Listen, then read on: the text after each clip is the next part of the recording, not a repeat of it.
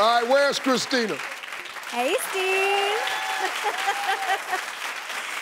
hey, Steve. So, I'm in a real life Devil Wears Prada situation. My boss is very challenging and she's kind of condescending to me. Um, she even accused me of doing things that I didn't do. Mm-hmm. So, my question is I like to be a professional and do things with integrity, but I'm tempted to leave this job because of this boss, but I really need the money.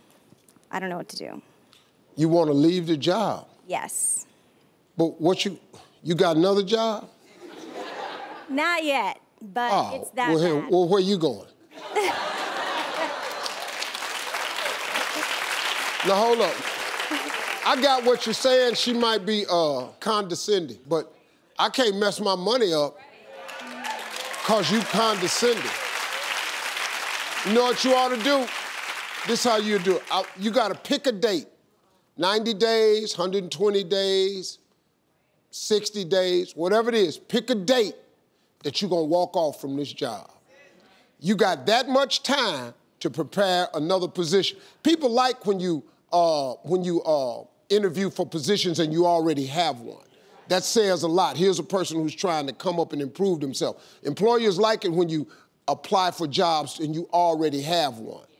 They know this ain't an act of desperation. This person really trying to elevate themselves. So pick a date. Like, how long would you, would you think it would take for you to get another job?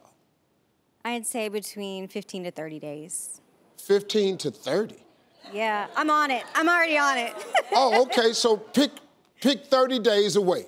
That's the date that you're going to walk out. Once you have a date where you know this is going to end, you're able to deal with it a lot better because you see the end coming.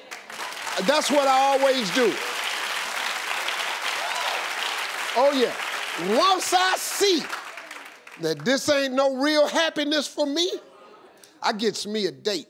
So you get you a date, let's say 30 days from now. So then every time she's talking to you, condescending, giving you bad information, accusing you of things you didn't do, you just go, 13 more days.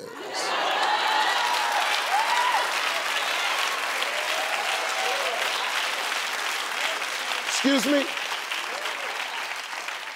Did I, did I steal the stationery? no, I ain't stole no stationery. 10 more days.